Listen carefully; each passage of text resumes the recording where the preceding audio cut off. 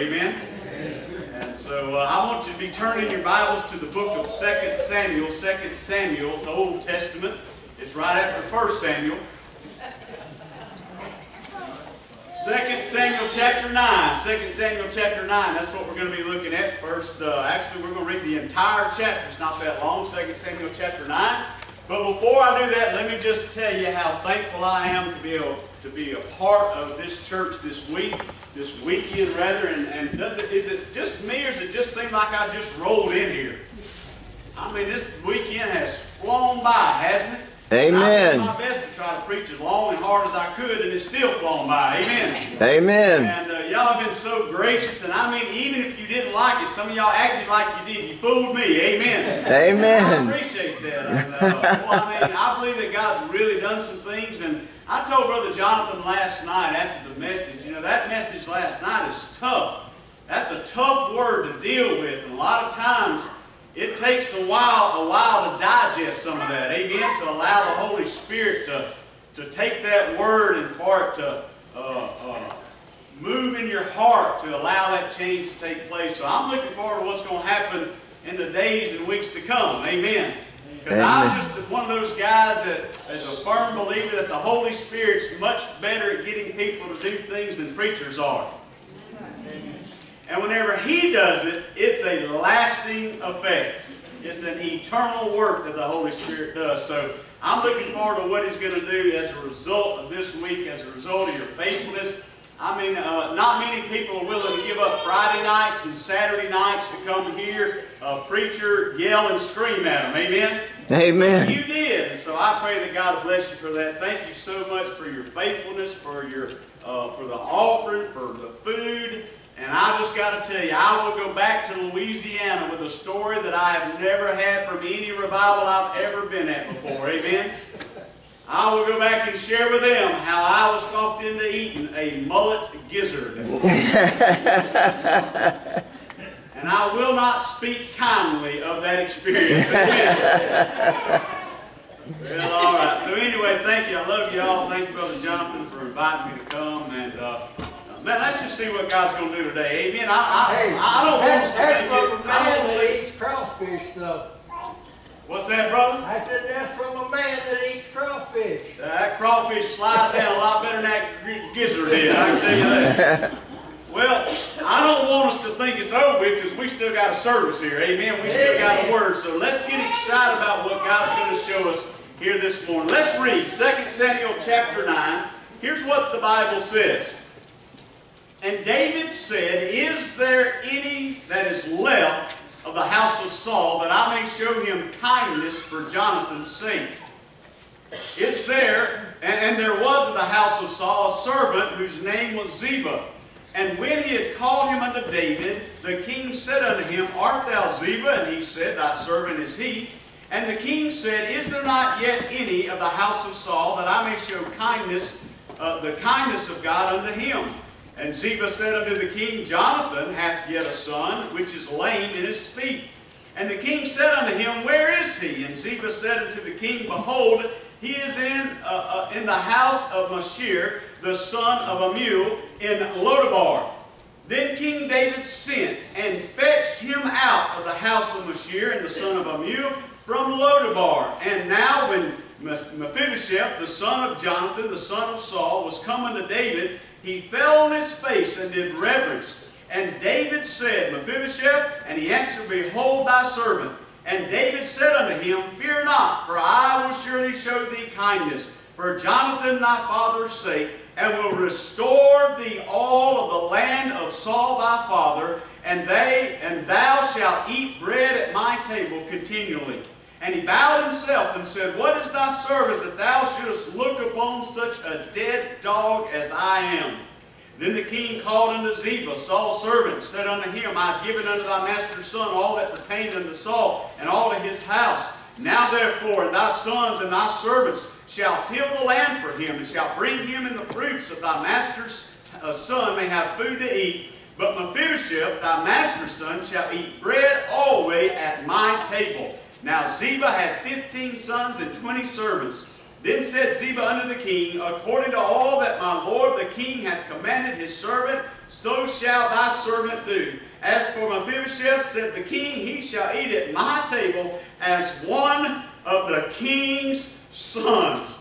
And Mephibosheth had a young son whose name was Micah, and he and all that dwelt in the house of Ziba were servants unto Mephibosheth. So Mephibosheth dwelt in, in Jerusalem, for he did eat continually at the king's table, and was lame on both his feet. Father, thank you so much for your beautiful word this morning. God, how I pray that you will illuminate our hearts today with this word. God, how I pray that you will give us a picture of us today. God, that you'll demonstrate to us through your word, through this Old Testament story, God, of what you do to every person who will come in faith to Jesus Christ. So God, as, uh, as we share this, God, I pray that you might move in power in this place this morning. God, if there be anybody here who has never before trusted you, never before experienced salvation, through Jesus Christ, never before been changed by the power of God. I pray this morning is the day that, Lord, they are transformed into a new creation. God, where you turn them upside down and inside out. God, that you put a new heart in them, Lord. They become your children this morning. So, God, do what only you can do today, and we'll give you glory for it in Jesus' name. Amen. Well, I'm going to tell you what, I don't know about you, but I'm excited about this message. Amen. Man, I've been, God put this on my heart last night, and all day long I've been thinking about it and rereading this passage. And every time I read this passage, I get excited. About three or four months ago, I was listening to the radio driving down the road, and I heard someone mention this guy by the name of Mephibosheth. And I thought, man, I heard just a little bit about his story, so I went home and I began to research this out. And man, the story of Mephibosheth is one of the most exciting stories in all the Old Testament and all the Bible because it gives us a picture. Ladies and gentlemen, this story that we read this morning is an Old Testament picture of New Testament grace. Listen, ladies and gentlemen, I want you to see that what we see in the story in the life of Mephibosheth is what happens to you and I and anybody who will call upon the Lord for salvation. It's a story of grace. It's a story of unbelievable grace. It's a story of amazing grace. Now, what is grace? Well, Webster defines grace as undeserved divine assistance given to humans for their regeneration and sanctification. I know you didn't get that, so let me give you another one. Others have defined it as unmerited divine love and favor extended to sinners. That's pretty good, amen? Amen. And maybe you've heard the following. Justice is getting what you deserve. Mercy is not getting what you deserve. And grace is getting what you do not deserve. Woo! And in Jesus we get mercy and grace. Amen? We don't get what we deserve and we get what we don't deserve. That's right. Amen. Are y'all getting that this morning? I want you to understand that as a child of God, you have received something that you didn't earn, that you don't deserve. You become a child of God and you did nothing to attain that. God gave it to you. That's grace. So this chapter is all about grace. It's all about God's amazing grace. How the grace of God reaches down to the undeserving. How it reaches down to the hurting, to the fallen, to the sick, to the lost, to the sinners. And He lifts them up and puts them in a place that they do not deserve. Puts them in a place of royalty. Even though they deserve hell. Even though I deserve hell, I want you to know you're looking at royalty this morning. Amen. Even though I'm a wicked guy, even though I want you to know that my sin has separated me from God this morning, I am a child of God. I am royalty. I know I don't look like it, but I am. Amen. I know I don't dress like it, but I am. Inside of me is a heart that beats royalty. Amen. So here we go. Listen, a picture of God's grace. And listen, nothing, nothing but the grace of God can bring salvation. Turn over real quick to um, Ephesians, Ephesians chapter 2. I'm going to read two verses out of that as we get started in this. Listen, I've only got four points this morning. It's going to be real quick. Amen? It is going to be real quick, amen. Now you listen fast and we'll get out of here fast. Here's what Ephesians chapter 2 verse 8 and 9 says. For by grace are you saved through faith and not of yourselves. It is the gift of God, not of works, lest any man should boast. Ladies and gentlemen, grace, salvation, is a work of God. You can't work your way to salvation. You can't give enough to get saved. You can't do enough to get saved. The Bible says that the very best that you have to offer is as filthy rags to God. I wouldn't trust the best 15 minutes of my life to get me to heaven. I wouldn't. Because even in the best 15 minutes of my life, I've blown it. Ladies and gentlemen, it's all because of grace. You can't work your way. That's the reason you can't come to church enough to go to heaven. It's not about going to church. It's not about church membership. It's not even about being baptized. It's about a relationship with Jesus Christ. And if you've never come to Jesus on His terms, then I want you to know that you've never come to Jesus at all.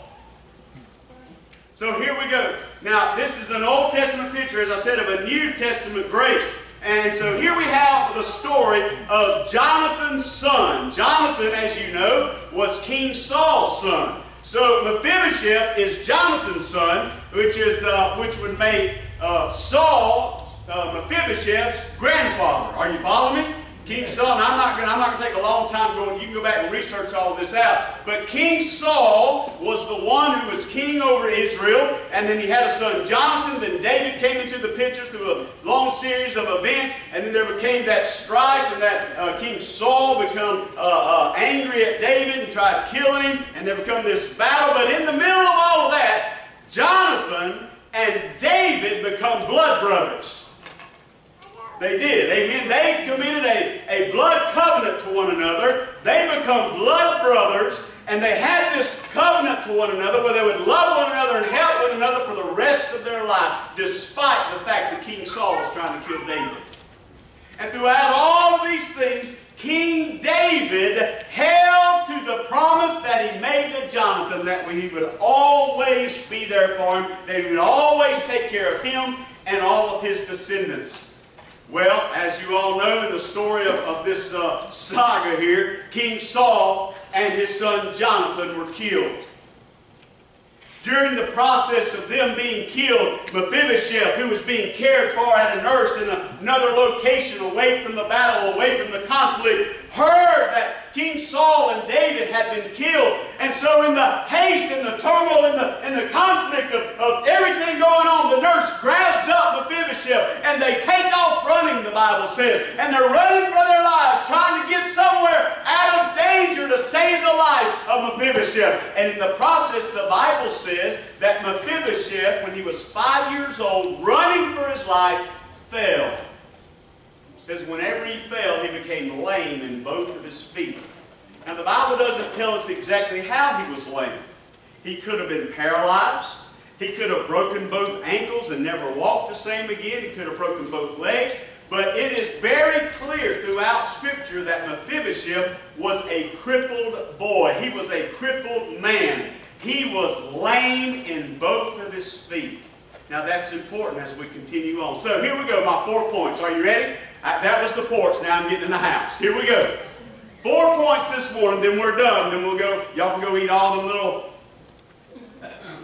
mullets you want to. Amen? Now, my first point that I want you to see about Mephibosheth is that he was separated. He was separated. Now listen, the Bible says in verse 4 that, that whenever King David asked where he was at, he said, well, that he's living down there in Lodabar. He's living way down there in Lodabar. Now, if you look up where Lodabar was, you'll find that Lodabar was the scum of the earth. Lodabar was the, was the ghetto of the day. It was the place where the nobodies lived. It was the place where the beggars lived. You see, Mephibosheth, listen, who was in line for the kingdom at one point, was now reduced to nothing but a beggar.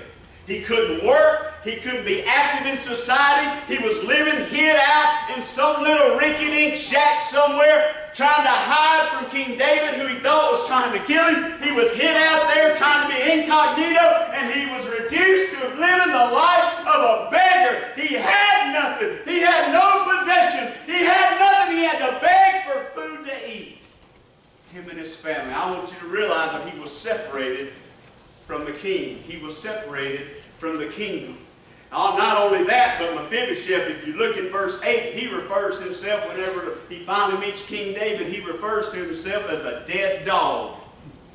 Now listen, there are a lot of things that you can call yourself back in that culture that was low, and that was one of the lowest things you could call yourself, a dead dog. He considered himself the worst of the worst. Can I tell you something here this morning, ladies and gentlemen? You can never get saved until you realize you're just like Mephibosheth. Right. You can never experience the grace of Jesus till you realize that you're the lowest of the low. Till you realize that you're the worst sinner of them all. Mephibosheth was separated. Listen, physically he could do nothing. He was worthless in the world's eyes. And not only that, he was worthless in his eyes. I know a lot of people like that. They think they're worthless in the world's eyes. And you get to talking to them and you realize they consider them worthless. Perhaps even you're here this morning and you think your life is worthless. There's no hope, no peace, no purpose. And you are a prime candidate to experience the grace of Jesus today. Because he doesn't look at you as worthless. He doesn't look at you as hopeless. He doesn't look at you the way that you look at yourself. He looks at you with the love of all of eternity. Because he loved you enough to die for you. You're worthless. To, you're worth something to Jesus. So he was separated from the new king. He remained in fear from hiding because he was afraid that if the king found out where he was at, that he would come and kill him, right? Listen, today every sinner is in that same position as Mephibosheth. We are separated from God. We are separated from God because of our sin. Listen, we're separated from God and we deserve the punishment that God has established for those who are separated from Him. Listen, the Bible makes it very clear that for all have sinned and fallen short of the glory of God. Listen, don't ever think that you can live good enough or do enough good to get the favor of God because the very best that you have is not good enough. The very best that you have is filth according to God. You cannot live good enough get the favor of God. In fact, the Bible says in Isaiah 59 verse 2, it says that our iniquities have separated between us and God. And the Bible says in Ezekiel 18 chapter 18 verse 4 that our sin is as unclean as filthy rags. And then in Romans 6 23 the Bible says that the wages of that sin is death. I get a chance to talk to a lot of people and one of the things that I hear every so often is this statement, well, I just don't believe that a loving God will send someone to hell. And you know what I always say? I always say this, you're exactly right you are going to send your own self to hell. Because at that time and that moment when those books are open, He's going to reveal to you your sin. And He's going to reveal to you why you deserve the wages that you have lived your life for. You live your life for sin, you're going to experience the payment of that sin. Death and hell. So our iniquities have separated from us. Our sins have separated us from God. We can't get to God, but God knew that. That's what I love about it. Amen. Listen, we can't get to God. There's nothing that we can do to get the favor of God. We can't get to God, but God knew that. And that's the reason the Bible says that from the very foundation of the world, Jesus was the Lamb that was to be slain. He knew that we couldn't get to Him, so He came to us. Jesus left glory and He came to this earth. He lived that perfect sinless life. He died upon that cross. He endured our hell on that cross so that we wouldn't have to. And then three days later after He was buried, He rose from the dead, ensuring us victory over death, hell, and the grave. And now we can't get to God, but God got to us. And if we'll go through Jesus, we get access to God. Amen. Woo! So we see that Mephibosheth was separated. And the second point is I want you to see that Mephibosheth was salt. I'm going to get excited, boy, it's over with, amen. Mephibosheth was Saul. Look in verses 1 through 5, and you'll see where King David, he actively went out. He began to put things into motion. He was seeking Mephibosheth. He was looking for Mephibosheth. Where's Mephibosheth? We got to find him. Spare no expense. And I want you to get all the soldiers, get everybody involved. We're going to search the world till we find Mephibosheth. Listen, he said he wanted to find him to show him kindness. Amen. David sought him out. And here's what blows my mind. Here's what blows my mind. The entire time that King David had all those men searching the countryside trying to find Mephibosheth. The entire time while they were searching through every home in Lodabar. The entire time they were looking for Mephibosheth. Mephibosheth was hiding because he was scared for his life. You see, he was hiding from King David, and King David was looking for him to help him, to show him kindness. Isn't that just like us today? We're sinners, we're separated from God, and we do our best to hide from God. We do everything we can to, to stay away from God things, stay away from people who are godly, because it convicts us. We do our best to hide from God, but the entire time we're hiding from God, God is looking for us. Remember in the Garden of Eden, whenever Adam and Eve sinned, and the Bible says that they sewed fig leaves together, and then God come into the garden looking for them, and the Bible says that they were hiding. And he says, Adam, where are you? And he come out, he said, we were hiding.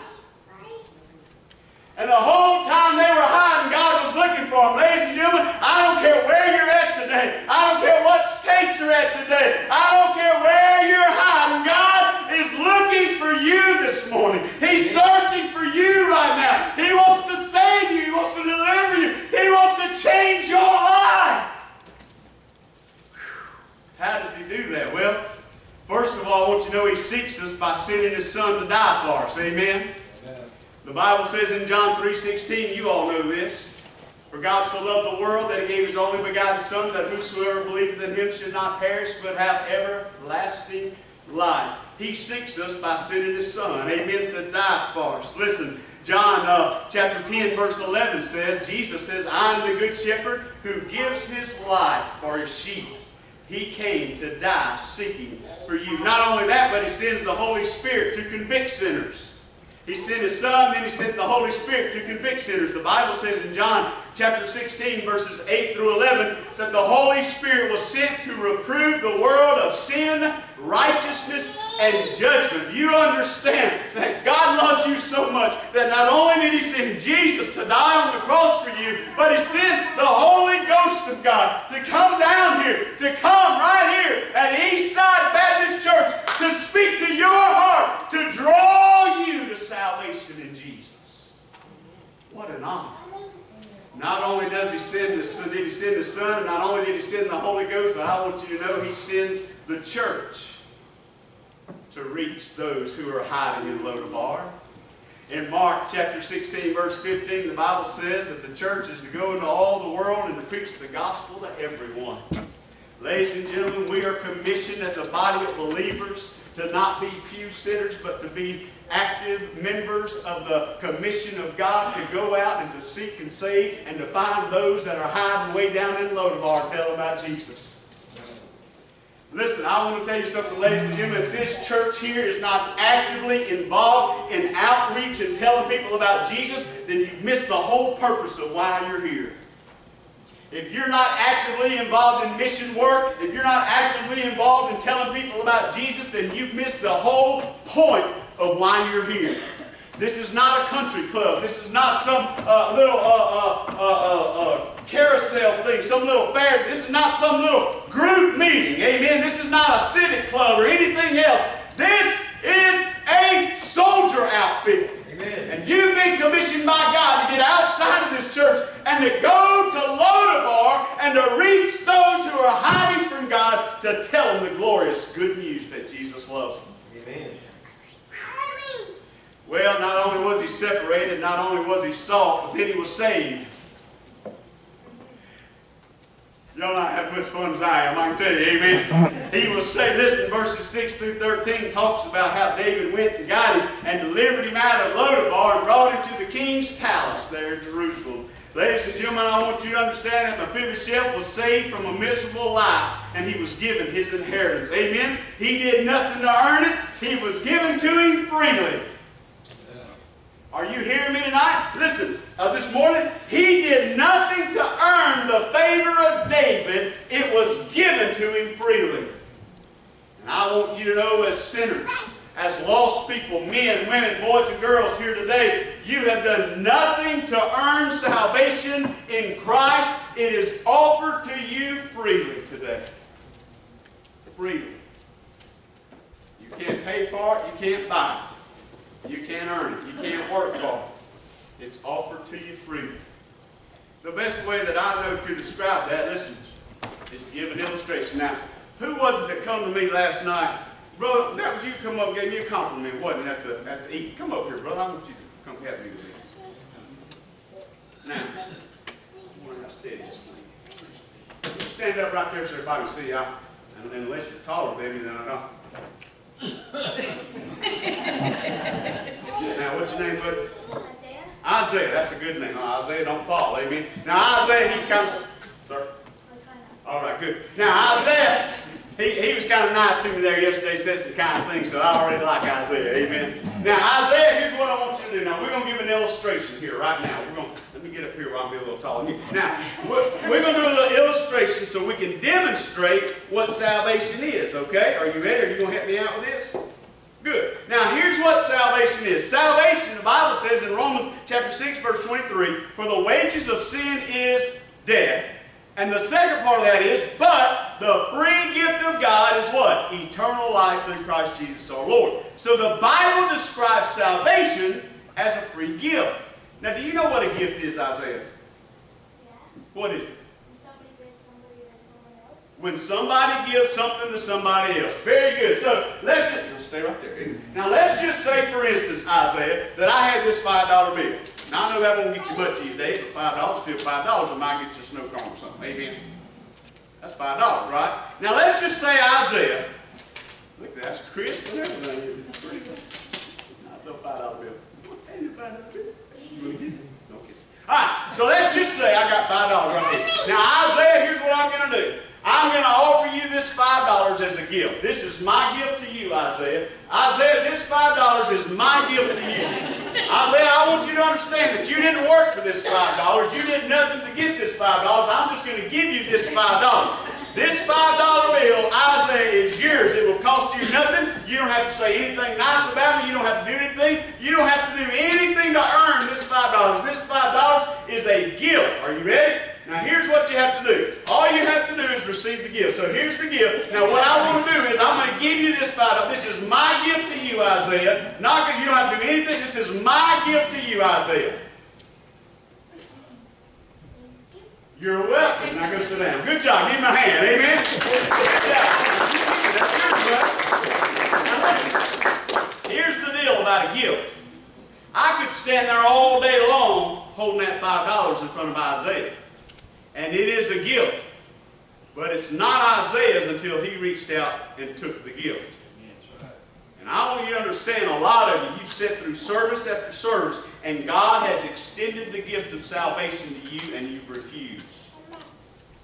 Listen to me, my dear friend. God's not going to beat you over the head. He's not going to force you onto your knees. Listen to me. He wants you to come willingly to Him. He wants you to accept the free gift that He offers of salvation. Well, and finally, not only was he separated, not only was he salt, not only was he saved, but he was given sonship.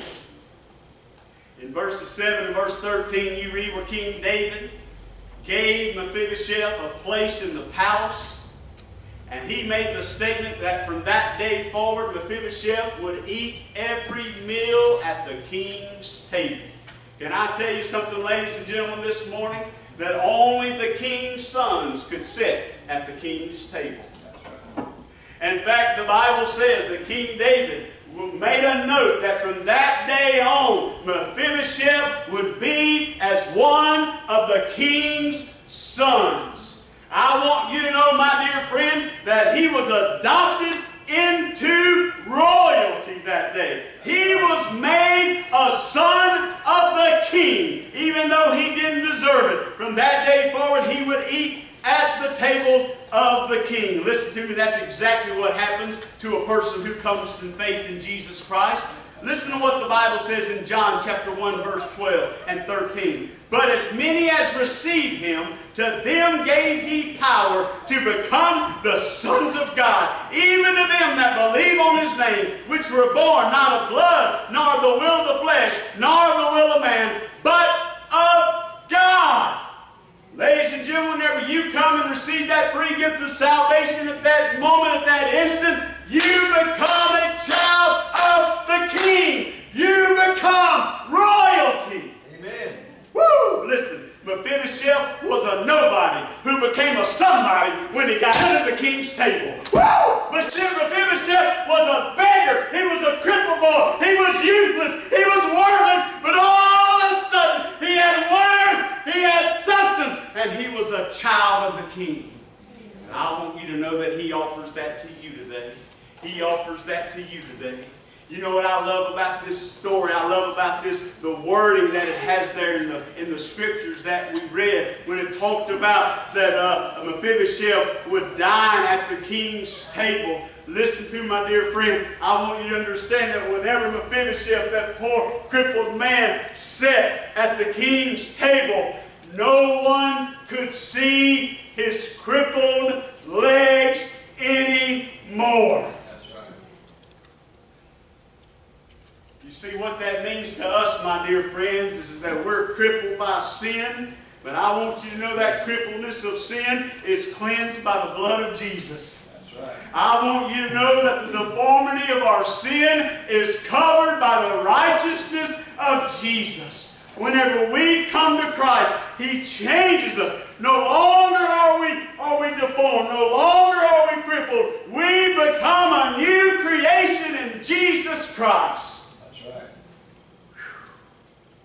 So I ask you, Mephibosheth was no longer a beggar. He was no longer a poor crippled boy. He was royalty. Are you royalty today?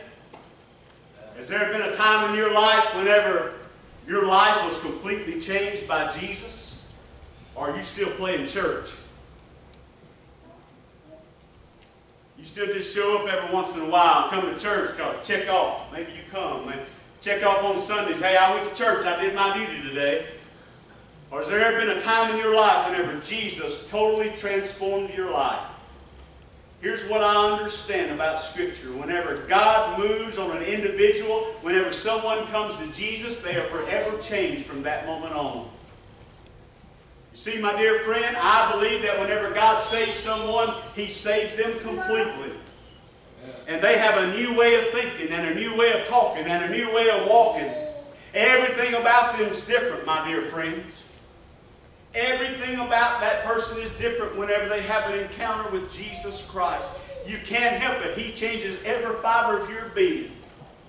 Listen, I, I'm telling you, I've seen it happen before. I've seen an old boy that never been to church before in his life. Hear about Jesus, somebody share Christ with him. He get gloriously born again. He knows nothing about what to do, and automatically he starts to clean himself up. Nobody's told him he's got to stop doing these things. He just automatically start doing it. Why? Because he's been changed from the inside out. Amen. And what happens a lot of times in our churches, we conform rather than get converted. Amen, brother. We know how to act. And the right things to say and the right things to do. And we know how to look the part. So we come to church acting like we got it all together, but inside we're lost. We've never been changed by Jesus. Tell it like it is. And we wonder why so many church members are out doing the things they're doing. They claim to be Christians, but they're living like lost people. And the truth is, they probably are lost. Brother Craig, that's a mighty harsh statement. Yes, but I'm going to tell you something. In the book of James, you realize that James was much harsher than I am. He said, You talk all you want to, show me. Amen. Show me your works. Now, I already told you, salvation is by grace. It's given. You don't work for it, but I'm going to tell you what, when you are saved, you'll be working. Amen.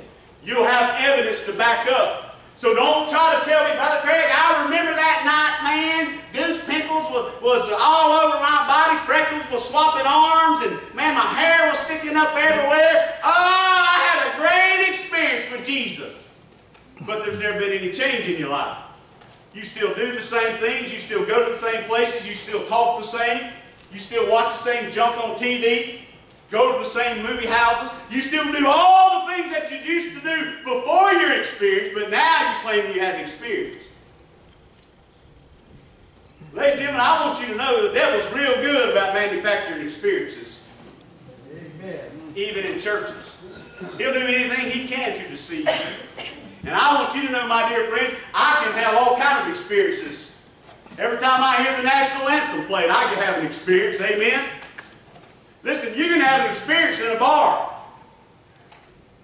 Not anything real Holy Ghost spiritual about it, but you can have a experience in there. Amen?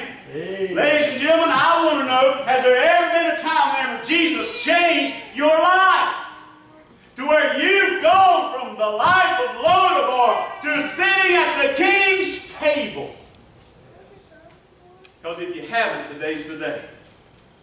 Because that's exactly how I used to be.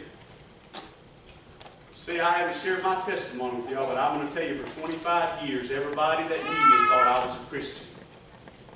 I was big in the church. I, I, I, listen, I was going to church before I was born.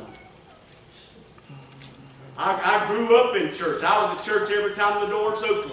When I was seven years of age, I walked down the aisle after a sermon. The preacher met me down there. He told me to go have a seat on the front row. I sat down on the front row. A nice little lady come sit down there beside me. I filled out a card, and as soon as they finished the 14th verse of Just As I Am, the preacher brought me back up there and announced everybody, Craig Franklin got saved today. We're going to baptize him in two weeks. I never repented. I never called upon Jesus. I never had my life transformed.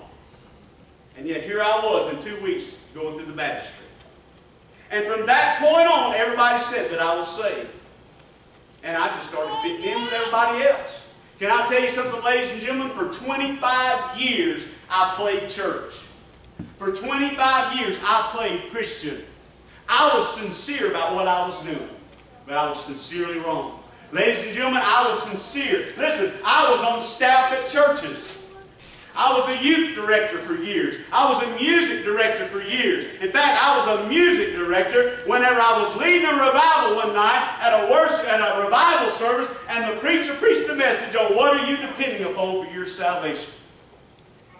And he read a passage of Scripture, Matthew chapter 7, verses 21 through 23, where there's, there's these people standing before Jesus on the day of judgment. And Jesus looks and they begin telling all these reasons why they should be led into heaven. And Jesus looks at them and says, Depart from me, you workers of iniquity, for I never knew you. And it was at that moment that the Holy Ghost of God got a hold of me and showed me that I was lost, that I was depending upon all my church work, that I was depending upon all these things that I was doing. Because listen to me, my dear friend, I may have looked like I had it all together standing up in church, but listen, the church people couldn't see what I was doing in the darkness. Because the one thing that church taught me in 25 years was how to hide my sin.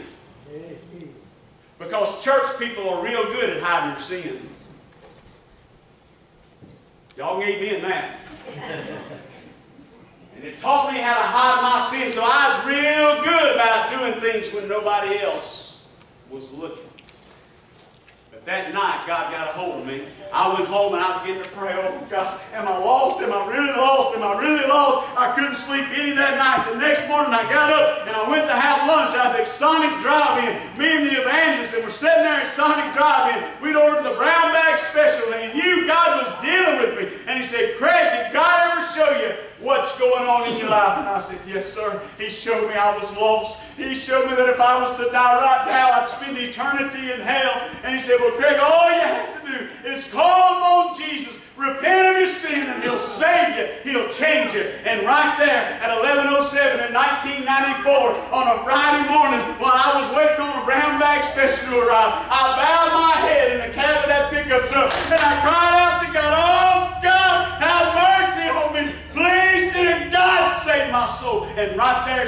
Drive-In. Jesus changed my life, friend. Amen. And I want you to know something that's been different ever since. Can I tell you something? There really is something real about meeting Jesus. He changes you, my dear friend. It's more than just coming to church. It's more than just religious activity. It's something that really occurs in your life and changes you. I was 25 years of age at that time. And I want you to know from that time to today, I've never once doubted what God did for me. Listen, listen, all, I'm trying to tell you, all my religious stuff's out the window anymore. Amen. I'm not dependent upon my religion. I'm not dependent upon going to church. I'm not dependent upon giving money. I'm depending upon one thing, and that is the grace of God that was extended to me that day at Sonic Drive-In that changed my life. So I want to ask you this morning, has the grace of God ever changed you? I'm not asking you if you've ever joined a church or been baptized. I'm not even asking you if you've had some kind of experience. I'm asking you, has Jesus really ever changed your life? Because friends, you know if he has or if he hasn't. You know. You know what else? Your family knows. Family knows. I used to say you could fool everybody. You could fool your preacher and you could fool your kinfolk, and church members, and all that stuff. That's before I got married. You see, the truth of the matter is your husband or your wife knows how you really are. They see you 24 hours a day. They see you all the time. In fact, they could probably stand up and testify right now whether or not you're a true follower of Jesus, whether you've ever been changed by Jesus. Parents, can I tell you something? Your kids know. Smartest group of people on the planet is your children. They know a whole lot more than you think they know. They see the way you act and react. They see what you do at house when the preacher's not around. They know you. So I want to ask you again, has there ever been a time whenever Jesus reached down and got you out of Lodabar and set you at the king's table? The grace is offered to you this morning. Would you bow your heads? I want you to be still, and I want you to be very honest this morning. I believe with all of my heart that God has put his finger on somebody in this place today. Maybe for the first time in your life. Maybe you've been knowing it for a long time. But this morning, the Holy Ghost of God has gripped your heart. He has shown you that you've never truly been born again. You've never truly been changed by Jesus. Maybe you've been playing church like me for a long time. Maybe everybody in this church thinks you're saved. But you know in your heart that you have never truly experienced salvation through Christ. So I don't want anybody looking around. But I'm going to ask you to do something. Now, I don't embarrass people. I don't come to get people. That's not my deal. Here's what I do. I pray for people. And I want to ask you to be honest this morning because I want to pray for you. If you're here this morning, you have never before experienced salvation through Christ. You've never had your life changed for Jesus. I'm going to ask for you just to slip your hand up real quick, and I want to pray for you. Amen. Anybody else? Amen. Anybody else? Amen. Amen. Anybody else? I'm just going to pray for you. That's it. I told you I don't embarrass people. I don't come get people. I'm not going to call you out. I'm not going to call your name or anything. I'm just going to pray for you. Anybody else? Amen. I see you, buddy. Anybody else? I've never been changed like what you described today, preacher. Well, here's what I'm going to do. I am going to pray for you. I'm a man of my word, and I'm about to pray for you as hard as I know how to pray. Can I tell you something? Just as I offered that $5 bill to Isaac, Isaiah, as I offered that money to Isaiah, by you sitting there this morning and raising your hand and acknowledging that you have never been changed, that you need salvation through Jesus, While that is a great first step and a needed first step, you still have to accept the gift. So what I'm going to do, as soon as we get through, as soon as I get through praying, I'm going to ask everybody to stand. Brother Jonathan's going to be standing right down here at front. And if God has spoken to you about being saved this morning, I'm going to ask for you to get up out of your pew and come down here and tell Brother John, I need to be saved. I need Jesus to change me today. Some of you have been in Lodabar for a long time. And the weight is heavy.